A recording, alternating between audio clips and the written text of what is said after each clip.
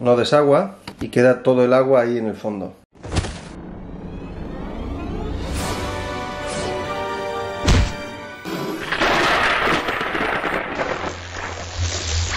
Bueno, aprendices, hoy tenemos un problema en casa y bueno, he decidido grabar un vídeo por si a alguien más le pasa, pues que se, pueda ayudar de este vídeo. Eh, este es el lavavajillas que tengo aquí, que es un Bosch, el modelo Silent Plus este serie 2 y el problema que tiene, como veis, es que no desagua.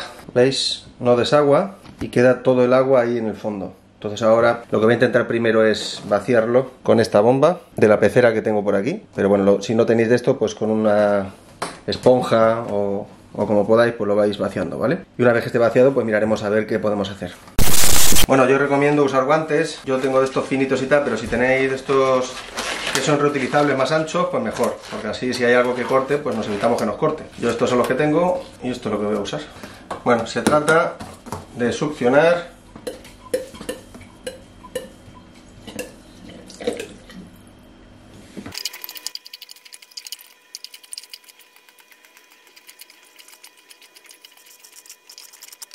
Bueno, ahora que ya vemos esto que es el filtro, vamos a vaciar esto primero, que aquí ya hay bastante agua. Aquí hay un filtro, que lo vamos a sacar. Tal que así.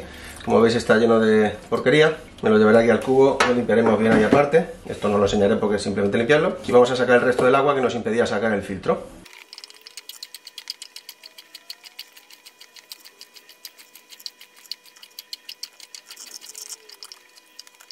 Ya lo que queda ahí, con esto ya no lo podemos sacar.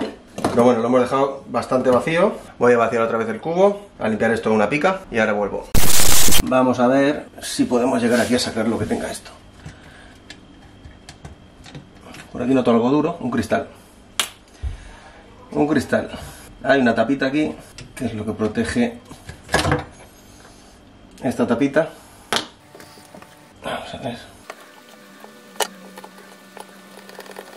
Esto gira libremente ya.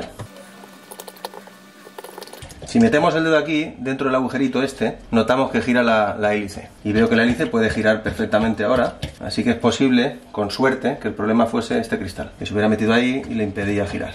Ahora a ver si consigo atinar para poner otra vez esto. Ah, la estaba intentando meter al revés. Ya está.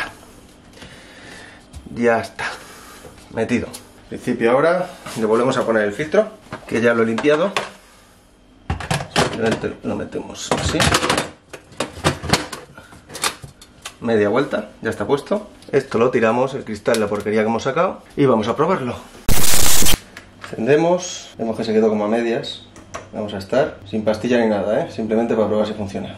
Y bueno, nos queda esperar 39 minutos. A ver si suerte. Minuto 36, sigue funcionando con normalidad.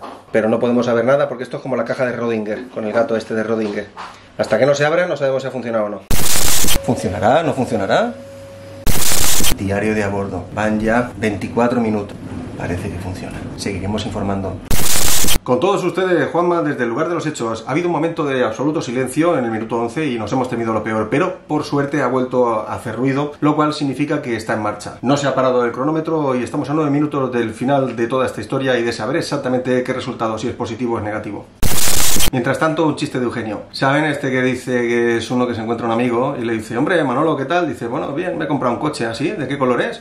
Dice, es un coche amarillo. Dice, bueno, no hace falta que me grite, no estoy sordo. Dice, no, es que es un amarillo chillón.